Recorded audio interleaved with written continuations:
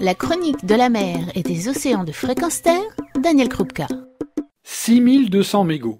C'est ce qu'ont ramassé les bénévoles de l'association Surfrider Bouches-du-Rhône en moins d'une après-midi sur 100 mètres de côte rocheuse. Oui, 6200 mégots, ramassés par 11 personnes sur 100 mètres de côte. Un chiffre tellement impressionnant, malgré les photos disponibles, qu'il m'a fait douter de l'information.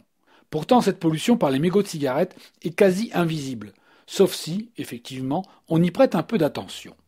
Et c'est ce qui m'est arrivé. Me trouvant le long du littoral varois, près d'un site rocheux, aux odeurs de pin et d'embrun mêlés, m'attardant de point de vue en point de vue, je me suis souvenu de ce chiffre. Et j'ai voulu vérifier par moi-même. Assis sur un bout de rocher et balayant du regard autour de moi à un mètre de distance, ma surprise fut grande de découvrir immédiatement seize mégots. Intrigué, et en regardant de plus près, je me suis rendu compte que les interstices des rochers recelaient de nombreux mégots écrasés. Bizarre le comportement du fumeur. Si je cache bien mon mégot, alors mon mégot ne sera pas polluant, non? Ben non. Et là, dès que l'on examine dans le même rayon les interstices des rochers, on triple le nombre de mégots. Et perdu, je me déplace de quelques mètres, plus attentif que jamais. Et là, même constat. De point de vue en arrêt contemplatif, c'est une balade d'une heure qui ressemblera à s'y méprendre à une recherche de champignons.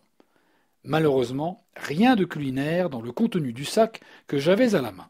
Non, plus d'une centaine de mégots sans même un effort. Il n'y a pas à dire, si les mégots étaient des champignons, c'est une poêlée succulente pour plusieurs convives que je pouvais servir.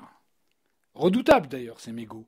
Ils ont la même particularité que les champignons, ils ont la couleur brune-orangée des champignons et se confondent aisément avec les couleurs du milieu naturel.